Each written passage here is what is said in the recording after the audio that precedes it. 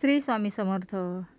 तर बरेच दिवसापासून मुलं घरी टाको करण्याचा हट्ट करत होते. म्हटलं चला आज बनवून बघूयात. तरी ते मी सकाळीच पाच सहा छोटे छोटे फुलके बनवून घेतलेले होते आणि त्याच्यामधूनच टाको बनवलेला आहे. वेगळं पीठ वगैरे काही मळलेलं नाही. साध्या चपातीच्या पिठाचेच टाको आपण बनवणार आहोत. तर चला त्याच्यासाठी आपण सुरुवातीला चटणी बनवून घेऊयात.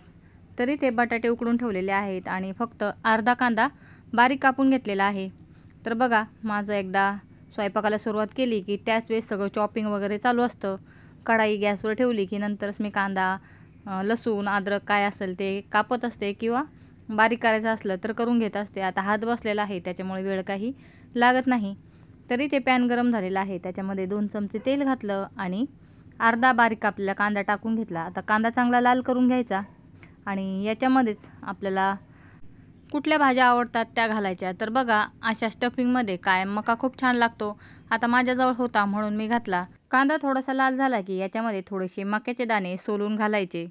आणि अर्धी शिमला मिरची कापून ठेवलेली आहे ती घालणार आहे. मक्याच्या दाणांना सुरुवातीला घातलं कारण त्यांना थोडासा बॉईल व्हायला वेळ लागतो. नंतर अर्धी कापलेली शिमला मिरची घातली आणि इथे तीन उकडून घेतलेले बटाटे घातले. चांगलं मिक्स करून घ्यायचं. तुमच्याकडे पिझ्झा सिझनिंग असेल ते घातलं तरी चालेल. आता माझ्याकडे नाही आहे म्हणून मी एक चमचा इथे चिली फ्लेक्स घातले अर्धा चमचा चाट मसाला आणि अर्धा चमचा भाजलेली जिऱ्याची पावडर टाकली आणि चांगलं मिक्स करून घेतलं. आता चवीनुसार मीठ टाकलं आणि थोडीशी याच्यामध्ये हळद टाकून घेणार आहे. म्हणजे कलर चांगला येईल. हळद टाकली नाही तरी चालेल. आता बघा नेहमी मी घरामध्ये जसा स्वयंपाक करते तसाच केलेला आहे. इथे काही मी चमचे वगैरे जास्त वापरले नाहीत. तर आता इथे आपली बटाट्याची चटणी किंवा स्टफिंग रेडी आहे. आणि इथे छोटे छोटे चपातीचे मी फुलके बनवून ठेवले होते. त्याला सुरुवातीला पिझ्झा सॉस लावला नंतर टोमॅटो सॉस लावला आणि वरतून चीजचा क्यूब जो छोटासा चीजचा क्यूब मिळतो तो सगळीकडे इथे किसून घातलेला आहे. त्याच्यावरती आपली स्टफिंग भरली. टोमॅटो केचपच्या वरती तुम्हाला जर मेवणीज आवडत असेल ते लावलं तरी चालेल. आता बघा इथे आपली जी बटाट्याची चटणी आहे ती लावली आणि इथे फोल्ड करून घेतलं. आता ग्रिल पॅन असेल तर त्याच्यावरती फ्राय करायचे हे नाही तर आपला जो साधा तवा असतो त्याच्यावरती फ्राय करून घेतले तरी चालतील. तर मी आणखीन ते दोन बनवून घेतलेले आहेत. कारण की मुलांना हे टाको खूप आवडतात. तर मी एकदा पहिले घरी बनवले होते खूप छान झाले होते. आणि तसेच मी परत बनवले. तर घरामध्ये सामान काही जास्त अवेलेबल नव्हतं. जेवढं सामान अवेलेबल होतं त्यातच बनवले. तर ग्रिल पॅन इथे गरम करून घेतला. त्याच्यावरती थोडंसं बटर गरम केलं आणि त्याच्यावरती हे टाकोस फ्राय करून घेतले. बटर टाकल्यामुळे या टाकोची टेस्ट डबल होते. आणि बघा बटरने या चपातीला किंवा आपले जे फुलके बनवलेले आहेत त्यांना कलर देखील खूप छान येतो. बटर आवडत नसेल तर कमी घातलं तरी चालेल. आता आमच्या घरामध्ये मुलांना बटर खूप आवडतं म्हणून मी भरपूर बटर घातलेले आहे. आणि बघा एकदम झटपट टाकोस तयार झालेले आहे. बराच वेळेस असं वाटतं की अरे हे बनत कसं असेल? आणि याला खूप वेळ लागेल. फक्त दहा मिनटामध्ये हे टाकोज इथे बनवून झालेले आहेत. आणि बाकीचे सुद्धा आता इथे मी फ्राय करून घेते.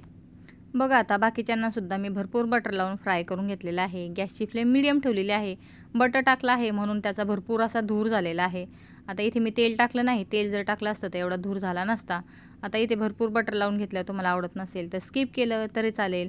तर चला तुम्ही तेल टाकूनसुद्धा भाजू शकता. तर याप्रमाणे मी होममेड टाकोज बनवलेले आहेत. पण याची टेस्ट खरंच खूप भारी आली होती. बाहेर बघा हे मैद्याच्या पिठामधून बनवलेले असतात. पण मैद्याच्या पिठापेक्षा गहूच्या पिठामध्ये सुद्धा हे खूप छान बनतात आणि टेस्टमध्ये काही एवढा फरक पडला नाही. खूप छान टाकू झाले होते आणि जेवढा शक्य आहे तेवढा मैदा हा अवॉइड करायलाच हवा. परंतु काही वस्तू असतात की त्याच्यामध्ये मैदाच घालावा लागतो.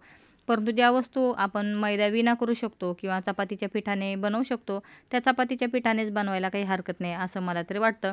बघा इथे स्टफिंग काही जास्त पडली नाही कारण चीज मेल्ट झालेला आहे. त्याच्यामुळे आतमध्ये स्टफिंग पूर्ण त्याला चिपकून बसलेले आहे. आणि बघा वाटणारसुद्धा नाही की हे दहा मिनटामध्ये आपण घरी टाकोस बनवलेले आहेत.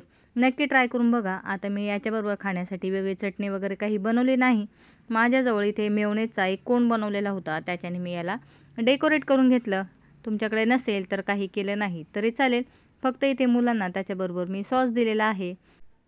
ट्राय करून बघा खरंच खूप छान लागतात आणि झटपट होतात. आवडलं तर लाईक करायला विसरू नका.